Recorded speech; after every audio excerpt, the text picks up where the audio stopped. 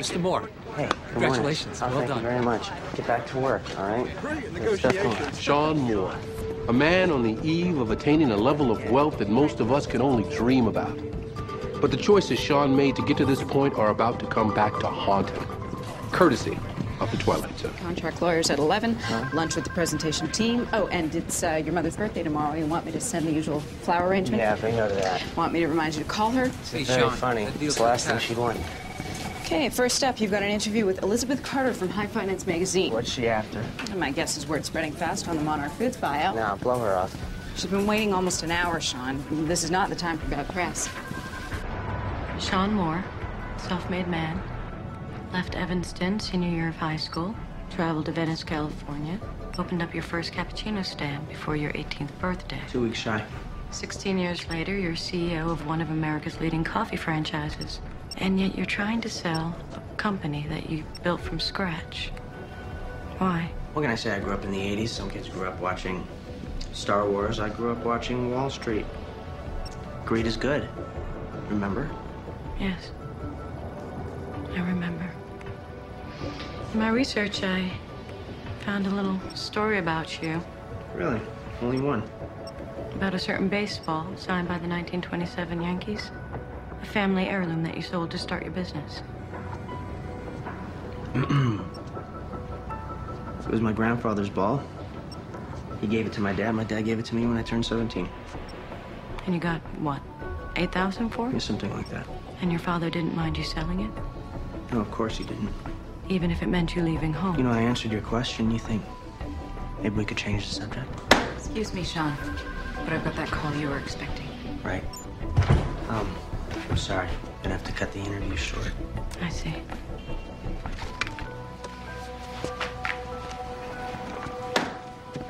Why do I get the feeling that didn't go so well? Don't let that sweet face fool you. She's up to no good.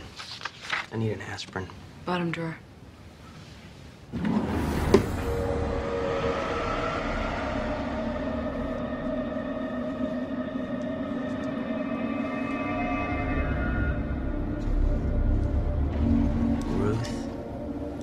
Gehrig. Huggins, this is the 1927 Yankees. That must be worth something. How the hell did it get here? This is the ball that I sold 16 years ago. This is my dad's baseball. You're traveling to another dimension. A dimension not only of sight and sound, journey into a wondrous land whose boundaries are only that of the imagination. You're entering the Twilight Zone.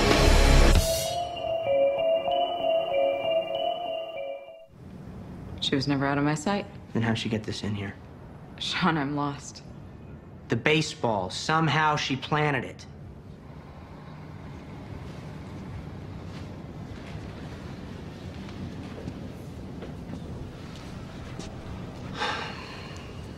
This is just too whacked. Maybe somebody got it for you as a gift. It's the exact same ball. I sold it 16 years ago. I'll check with the staff, see if anybody knows how it got here.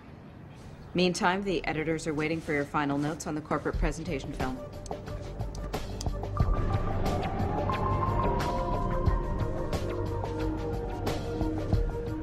Message one. Sean, Kate, good news. Ulrich's flying in from Geneva just for the presentation, so it looks like our friends at Monarch Foods are in a buying mood. And oh, by the way, I asked around the office. No one seems to know about that baseball. Message two. Hi, Elizabeth Carter from High Finance. I really think we need to talk some more about your past. It's Alicia. I'll be by your place at 9. I can't wait to see you. You know, It's only been a week and it feels like forever. I miss you like crazy. Bye.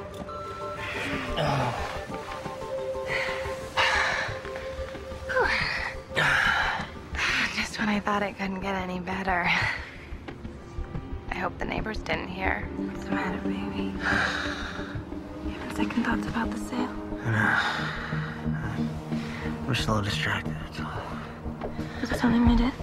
No, no, no. Past stuff. Uh, I guess some things never go away. I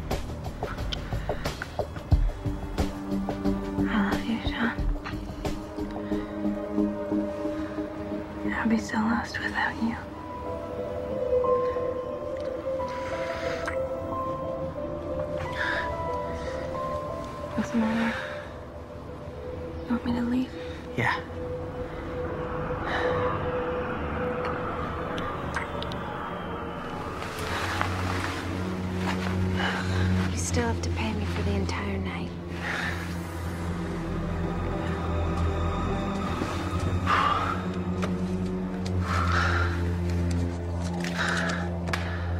Next time go easy on the hearts and flowers, okay?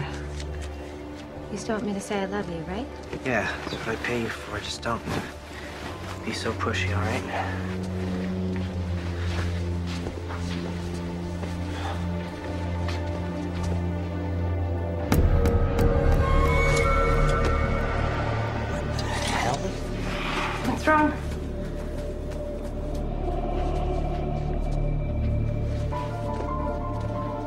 She put you up to this? Who? The reporter, Elizabeth Carter, did she pay you to put this here? Sean, I don't know what you're talking about. You don't, huh? That's just an old school jacket.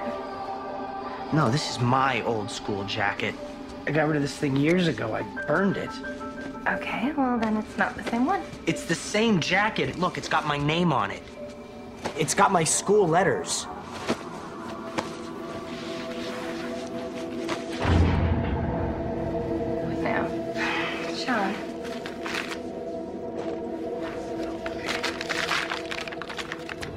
It's the letter. It's Bess's letter. Bess, Bess Wicker, she was my first girlfriend. you know what they say. First love's hardest to forget. See you next week, Sean. Sean, I'm sending you back your jacket. I've decided I can't come to California. I wish I could forget. I wish I could forget what you did, but I can't. I love you, Sean. I love you, Sean. I always will. But I But I just just can't can't forgive forgive you. Bess. Bess.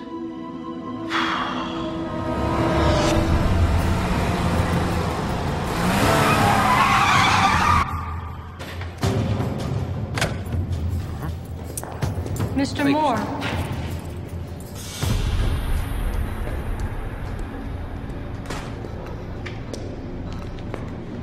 All right. Let's have it. The hell do you want from me? I thought we could finish up our interview. No, screw the interview. I want to know how you're pulling it off. Pulling it off? The baseball, the school jacket. You really are afraid to look at your past, aren't you? You know what, lady? I don't need to look back. My company is in play for more money than I ever thought existed in the world. You live alone. You have no friends. No one you care about. And no one who cares for you. How do you know all this about me? Who the hell are you? I thought you would have figured it out by now. I know you, Sean.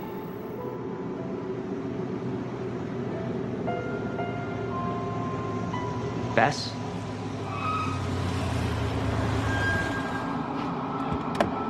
Bess Wicker? Sorry I'm late. Got caught in traffic.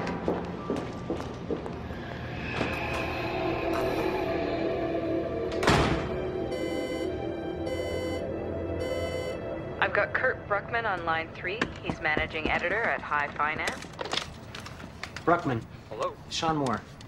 What can I do for you, Mr. Moore? I'm trying to track down a writer that works at your magazine. Um, it, it's the, the woman doing the feature story. Feature story.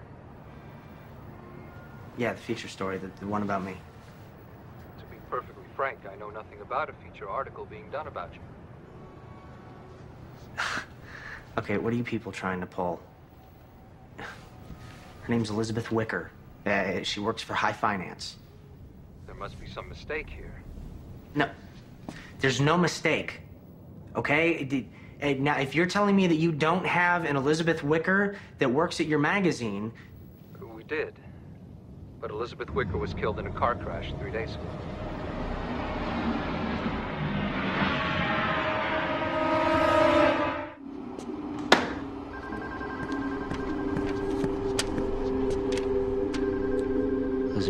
Elizabeth Evanston, Illinois, April 7th, 1972. It's gotta be some kind of a hoax. No. No, it was Bess. Don't ask me to explain it, but she was. She was sitting right there. You saw her yourself. I saw someone named Elizabeth Carter. Uh, it was her.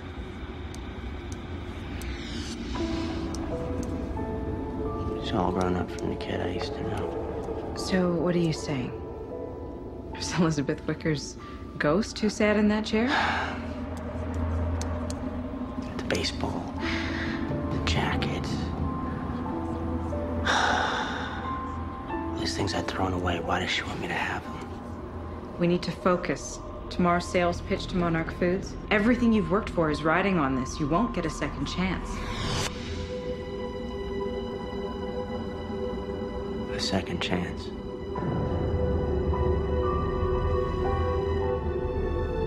Maybe that's what she's giving me.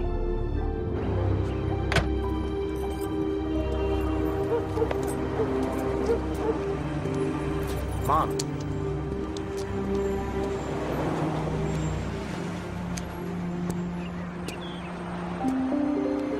Mom. Hello, Sean. It's been a while. Uh, happy, uh, happy birthday.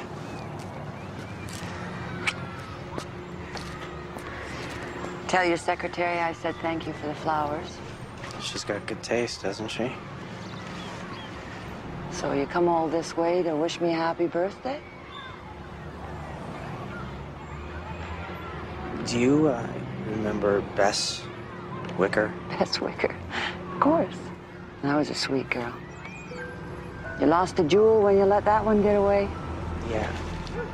I saw her recently, and uh, she gave me something for you. I think she really wanted you to have it. You recognize it? It's Dad's baseball. How, how did Bess get hold of it? I, I don't know. Does it really matter? Here, take it.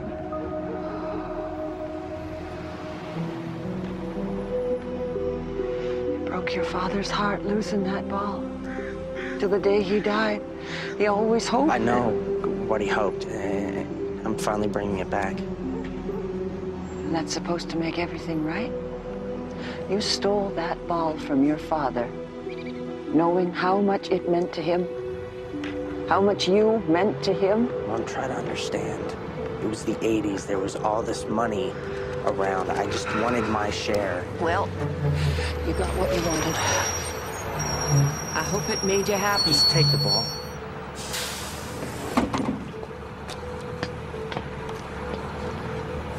It's too late.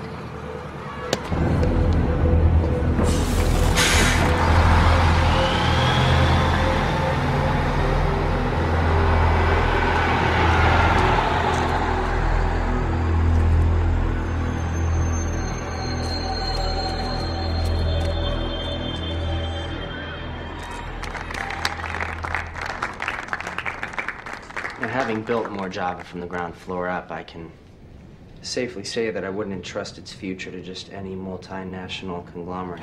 So we put together this film for you at Monarch Foods to show you why your time and interest in Moore Java is fully justified. Play. Play. There we go. I'm not seeing anything. Spielberg, you've got the lens cover on. Oh. So how does it feel to be the first family in the block to own a video camera? I feel like a star. This, You want to take be. to fixing the garbage disposal? Uh, There, get the lovebirds. There we go. Hey, Slick, give us a big smile over here. Ah, way to go, Sean, just like your old man. Give me that. What? Oh, no! Come on! Come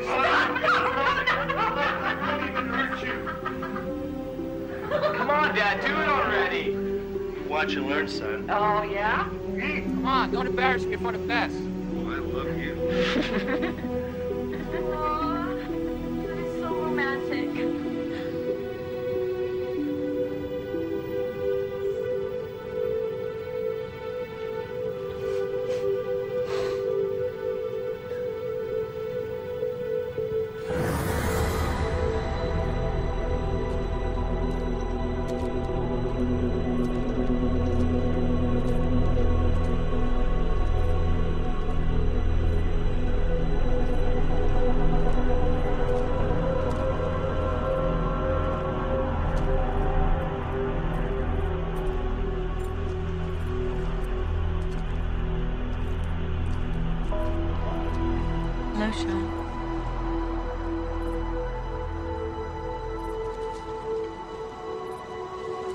how'd you know I'd be here? I didn't. I just hoped. You know, I remember all the plans we had.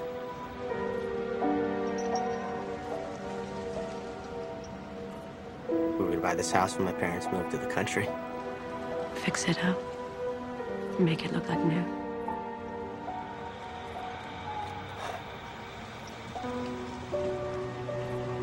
Bess, I wish I could change the past and make everything right.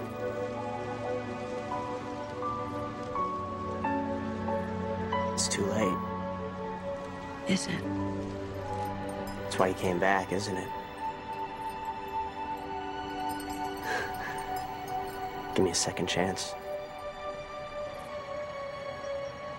I can't give you anything. You have to be willing to take it.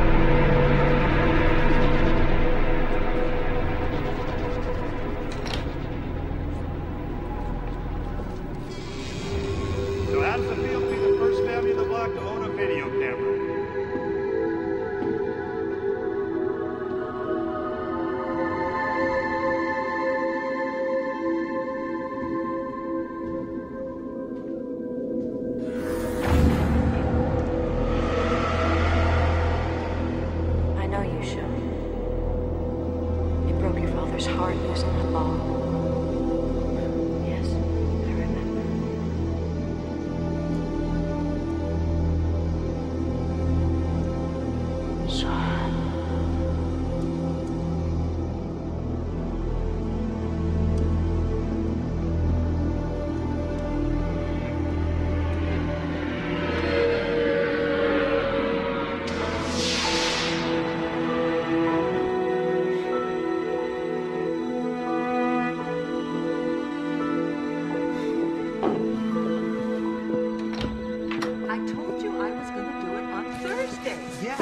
Last Thursday. Oh, Hey, save your strength, Slick.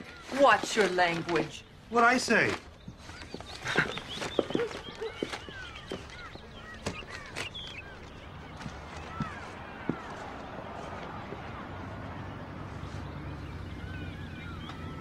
I didn't think you'd be here. Of course I'm here. We had plans, remember?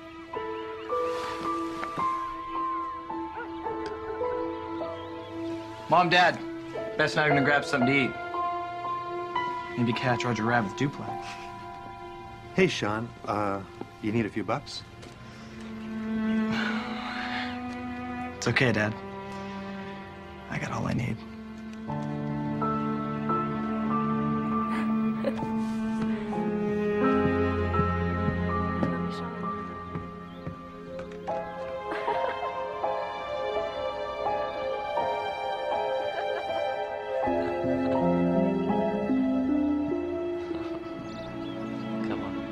Said you can't go home again. But tell that to Sean Moore, who traded his fortune for the most precious gift of all a chance to wipe the slate clean, start life anew.